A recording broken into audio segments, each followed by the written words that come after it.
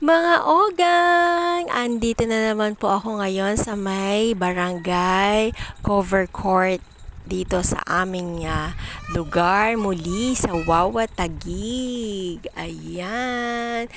Uh, nakita ko kanina ang daming tao kaya lumabas ako para makita ko kung ano ba meron dito ngayon kasi uh, puro bata yung mga nakikita ko, mga bata, mga pataas 7 hanggang uh, ah, 10 years old, may malalaki na rin po, ayan nakikita nyo po ano. Tapos kasama nila yung kanilang mga magulang, yung iba kasama, yung iba hindi po.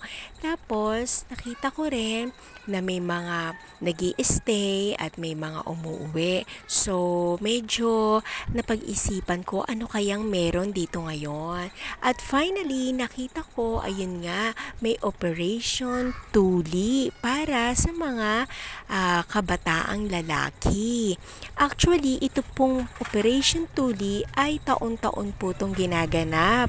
At ito po ay handog po ni Ate Lani Cayetano at syempre, uh, katulong din po ang aming um, Kapitan Philip Bonaflor at ang kanya may bahay na Kapitana Rosalie Bonaflor at syempre hindi po mawawala ang ating mga kagawad.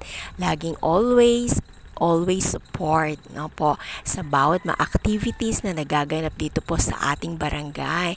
Nakakatuwa lamang po mga ogang dahil lahat ng activity rito ay talagang may uh, kabuluhan no at alam niyo po ba hindi biro po ang pagpatutuli ng isang uh, lalaki sapagkat ito po ay uh, masakit.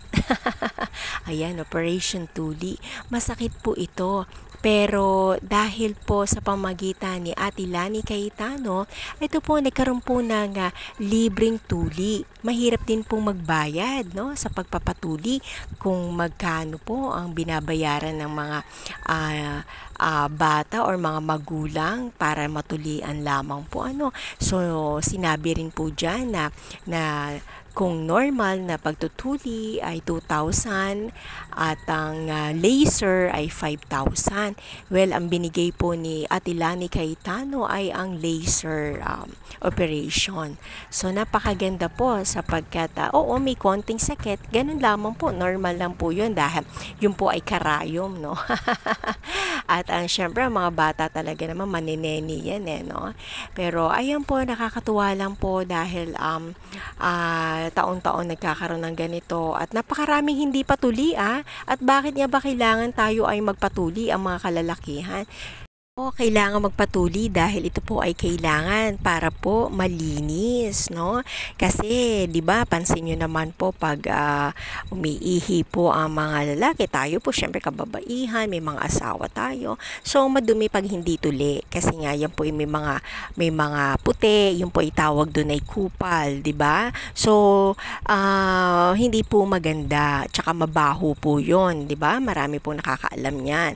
So, to make it clean po, mabango, proper hygiene, yan po, ta, para po nagkakaroon po talaga ng tuli. Ayan.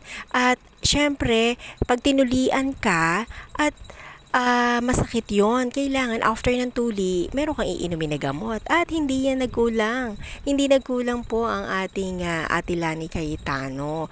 Siya po ay may libreng tuli at laser pa at may mga kit pa, may mga bag pa silang iuuwi dahil may libreng gamot pa for 7 days. ba? San ka pa? Ayan, ba? Galing-galing talaga. Complete siya, package na siya. Tara, ating alamin po ang kanilang pagtutuli. No? Tara na mga ugang. Ating lahat, ayan, syempre, no? Uh, welcome po dito sa ating occasion libre tuli. Mga paalala lamang po, no? Bago po tayo mag-umpisa maya-maya. Unang-una, mga magulang at mga bata, kailangan yung inyong pong mga anak ay kumain at busog bago po sila tulian.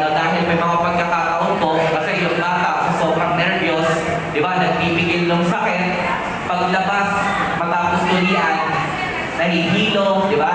Gutom, kaya dapat lahat po sila ay kumain at busog bago po sila tulian. Sino hindi pa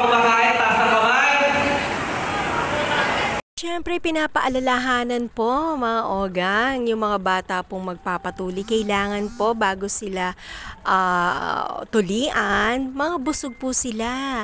Para naman na uh, uh, healthy yung mga bata, busog sila, sasabak sa gera, ano.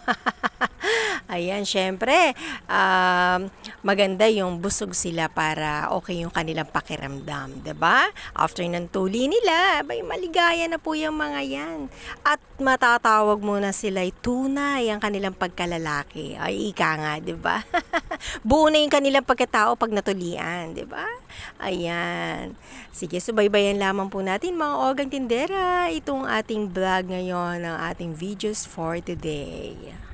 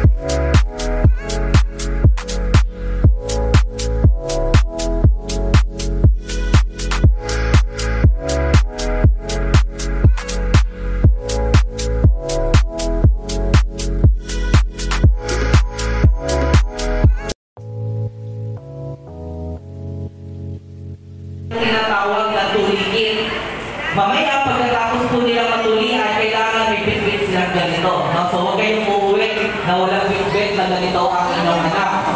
Ito po ay naglalaman ng bed. Siyempre, ang gamot naman po natin, good for 7 days lang. Ha? Dahil ang healing period po ng ating tunay, lalo na ito po ay nakita natin ang kung gusto po ng sirop ng anak ninyo, bibigyan din po namin kayo ng sirop. O, di ba? Grabe, no? Iba talaga yung pamahalaan sa Dantagig. Hindi na pinahihirapan ang bawat pamilyang tagigenyo. Libre ang tuli, libre ang gamot. Pwedeng mamili, capsule o zero. Ganyan po magmahal ang administrasyong Cayetano. Ganyan po magserbisyo si Mayor Nani Cayetano. O yan. O 5,000. Di ba? Six, kulang-kulang 500 pesos gamot, no? 5-5. And sayang yung pera na yon. Hello po, magandang umaga po sa lahat. Good morning po. Ah, Siyempre po, gusto ko lang magpasalamat sa inyo. Sa lahat po ng mga nandito.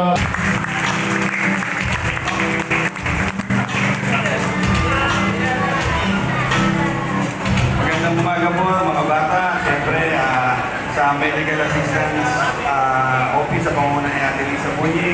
Ah, sa mga magulang na nandito, nakita nyo ah, bilang punong barangay ng ating barangay ng Sawawa, aking pong pasasalamat sa ating puting mayor, Ate Lani Cayetano, dahil hindi po niya nakakalimutan ang barangay Wawa sa mga programa na kanyang pinababa kada barangay. Ah, Nakita naman natin, nung una, mga magulang, mga bata, nung kayo ay naglalaro, nagpupunta kayo dito, ito ay basketball court.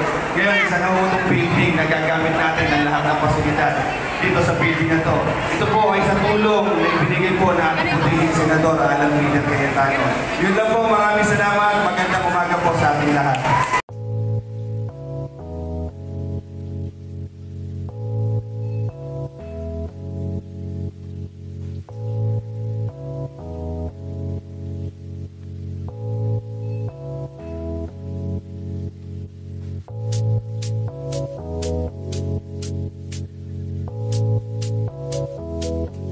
ay nakadepende sa laki ng...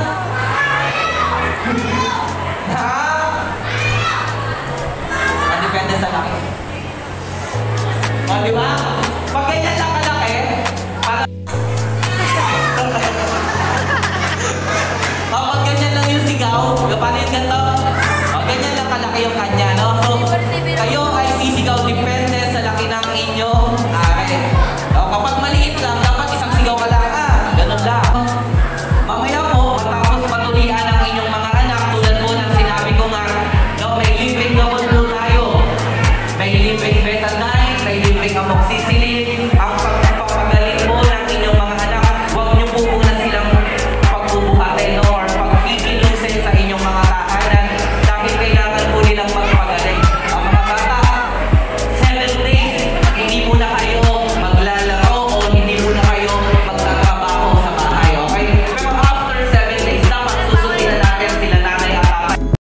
Magandang maogang. Oh, uh, ah, pasensya na kayo kasi bawal pong pakuhaan ng video ang tinutuli.